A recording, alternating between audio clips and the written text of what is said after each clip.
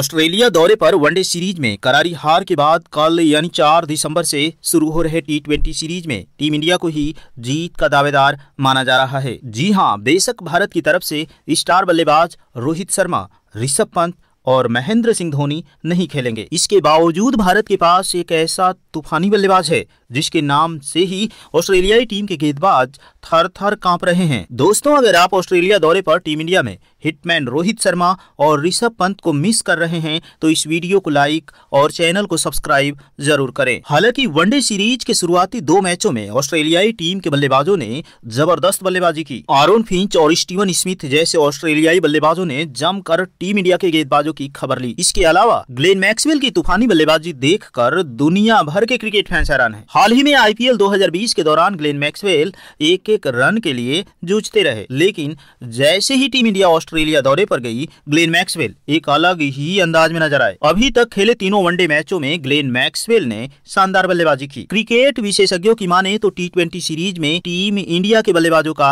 दबदबा रहेगा। भारत के पास संजू सैमसन, लोकेश राहुल और हार्दिक पांड्या जैसे विश्व चैंपियन बल्लेबाज हैं। जो ऑस्ट्रेलिया के खिलाफ टी सीरीज़ में बेहद ही घातक बल्लेबाज साबित हो सकते हैं।